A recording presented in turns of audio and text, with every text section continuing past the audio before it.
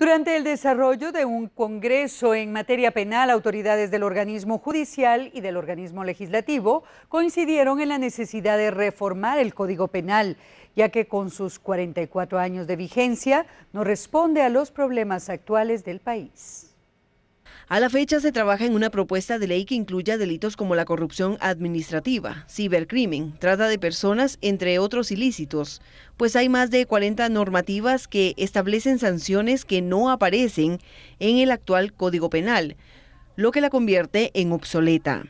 Consideramos que sí es obsoleto porque no responde a lo que estamos viviendo actualmente. Tenemos que actualizar la ley en todo sentido, pero tenemos que actualizarla de manera integral. Nosotros consideramos que antes del periodo de receso legislativo se haya presentado una reforma en este sentido. Eh, sí afecta porque esto produce algunos vacíos legales eh, que eh, a los jueces al momento de, aplicar la justicia les genera algún problema para poder emitir sus decisiones judiciales. Al respecto, analistas consideran que los cambios son necesarios.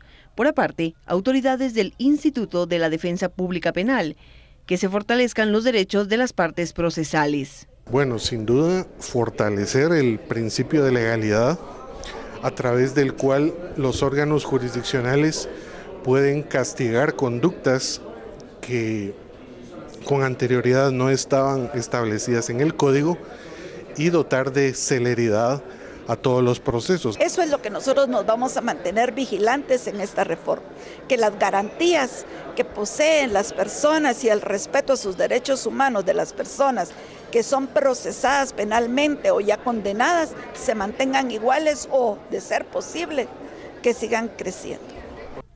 Uno de los artículos que necesita reforma es el artículo 156, omisión de auxilio quien encontrando perdido o desamparado a un menor de 10 años, a una persona herida, inválida o amenazada de inminente peligro, omitiere prestarle el auxilio necesario, según las circunstancias cuando pudiere hacerlo sin riesgo personal, será sancionado con multa de 25 a 200 quetzales.